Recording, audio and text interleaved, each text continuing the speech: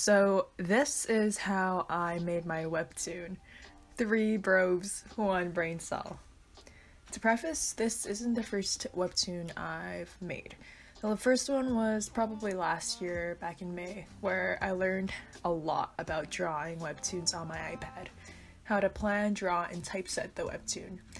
This video will focus primarily on the visual aspects of the webtoon, mostly drawing.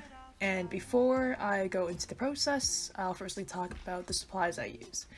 So for hardware, I have a normal iPad, it's the 7th generation. I use a first generation Apple Pencil, and for the software I use, I use Procreate. For typesetting, which I'm not gonna go that much into in this video, but maybe some other one, I use Medibang, and that's also on the iPad. Some useful programs I'd like to mention are 3D modeling programs that I use, mostly for references. I like the Magic Poser app from the Apple App Store. It provides really useful references, and when I'm just too lazy to come up with a unique pose, I can browse their app. Anyway, so for my drawing process, like I mentioned before, I use the app Procreate.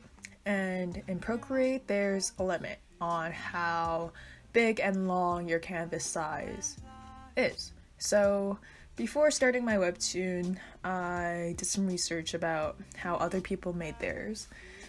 And I learned it's pretty common to make the canvas size larger than the required size, and then by shrinking it down, you can fit Webtoon's requirements.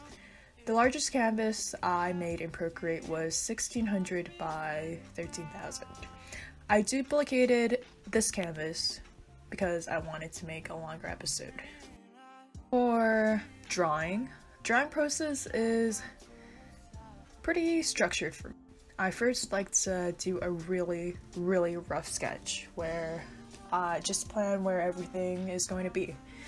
It's usually pretty ugly at this stage, but it gets the job done. After that, I do a more refined sketch. This is in preparation for the line art I'm gonna do.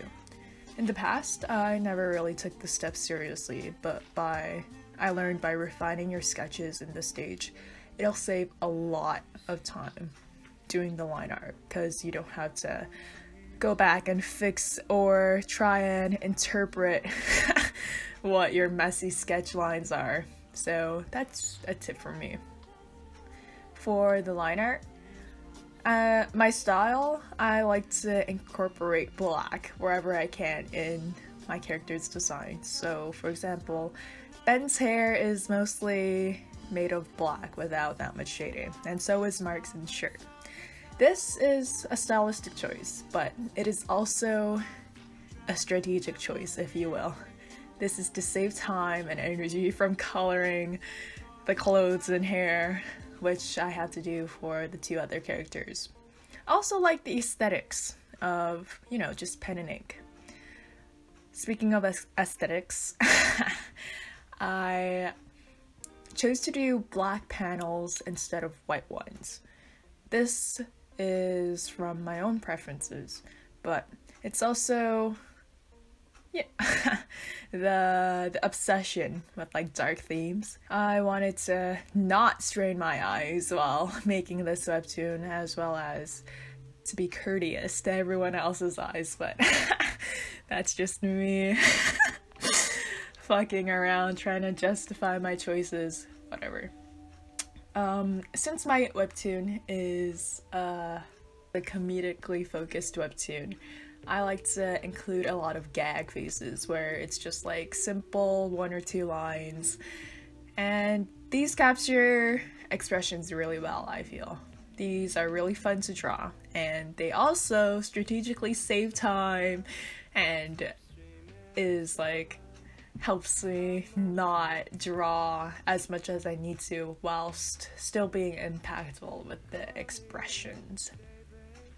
So after the line art and you know coloring the outside panels, the next stage would be the base colors.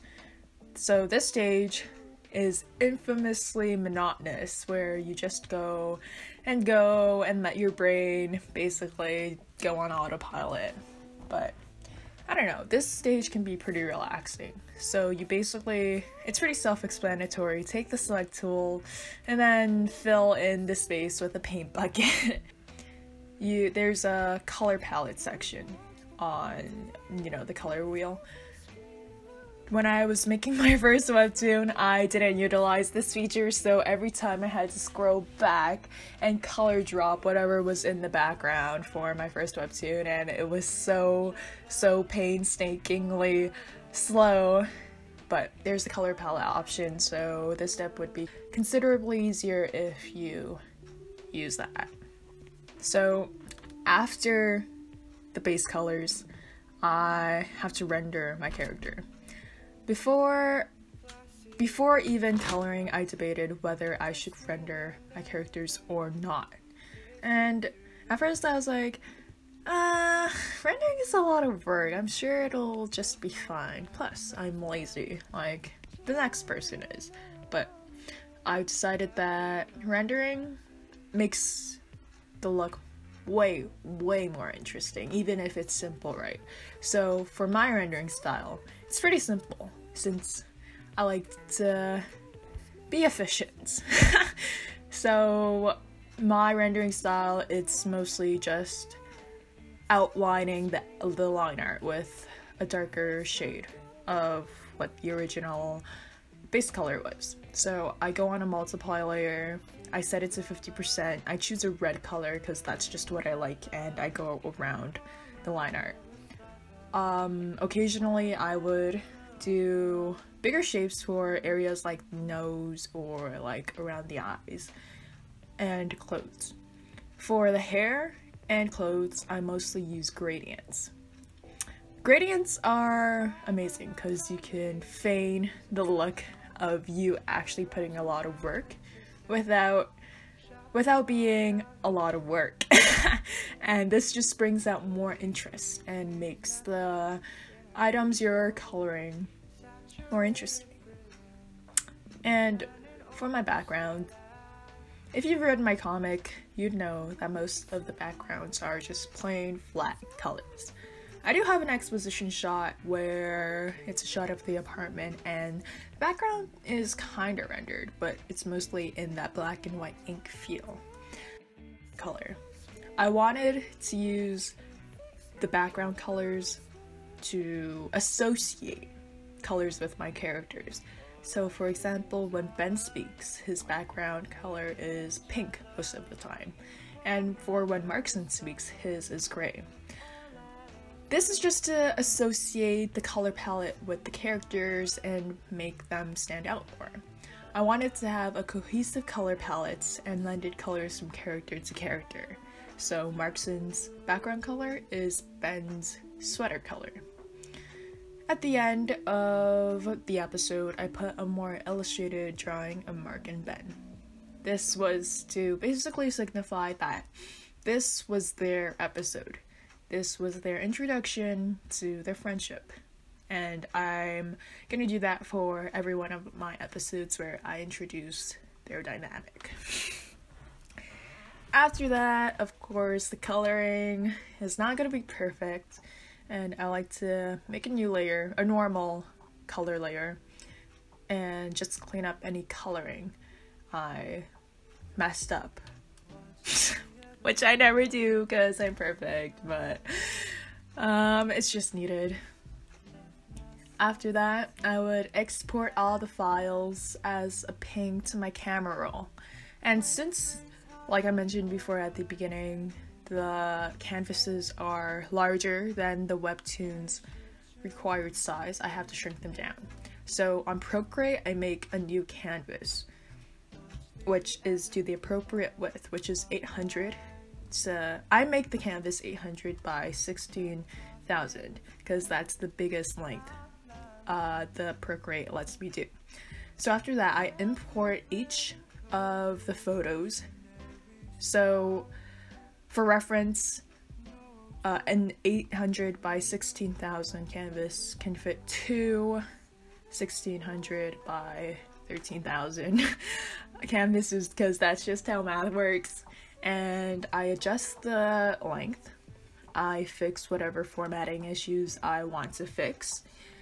And I start at this stage since all the drawing and coloring is done. I move on to the speech bubble placement and the typesetting, which I will discuss in another video since this video is too long already and I want my videos to be concise and not too long.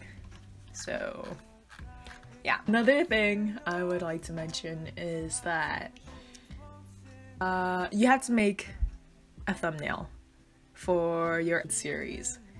And that thumbnail, if I remember, is like 450 by 450 pixels. So don't forget that. I basically did the same thing as I would for making my webtoon. And since the canvas, since I didn't have to use such a big canvas for that, I actually have a time-lapse video of my actual process. So here it is. Oh, and don't forget the thumbnail for the actual episode. For that, I just took a random screenshot from my actual episode and just shrunk it down. So, yeah, that's the coloring and drawing process. Blah, blah, blah. Okay, bye.